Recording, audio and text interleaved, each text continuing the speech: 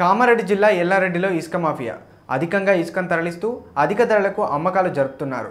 ఎల్లారెడ్డి మండలంలోని కళ్యాణ గ్రామ చెరువు నుండి కొందరు ఇసుక మాఫియా దాలర్లు ఒక ప్రజాప్రతినిధితో కుమ్మక్కై ప్రభుత్వ పనుల కొరకు ఇసుక తరలిస్తున్నామని నమ్మబలుకుతూ చెరువులో మనుషులు సైతం మునిగేలా గోతులు తీసి ఇసుక అక్రమ రవాణా చేస్తూ వాల్టా చట్టాన్ని హాస్యాస్పదం చేస్తున్నారు. ప్రభుత్వ పనుల కొరకు కేవలం ఇరవై ట్రాక్టర్లకు అనుమతి ఇవ్వటం జరిగిందని ఎల్లారెడ్డి తహసీల్దార్ మహిపాల్ తెలిపారు.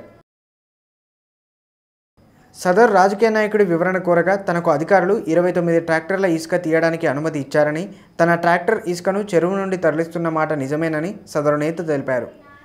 వందలాది గుంతలు చేసి చెరువు నుండి అక్రమంగా ఇసుక మాఫియా ఇసుకను తరలించి అడ్డగోలుగా అధిక ధరలకు విక్రయిస్తున్న పట్టించుకునే వారే కరువయ్యారని ప్రజలు ఆరోపిస్తున్నారు.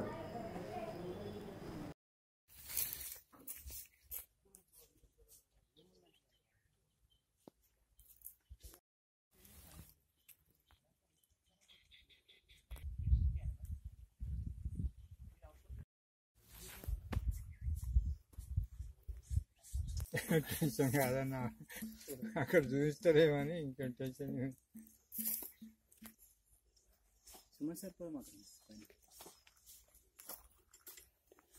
ఇదే ఛానల్ కదా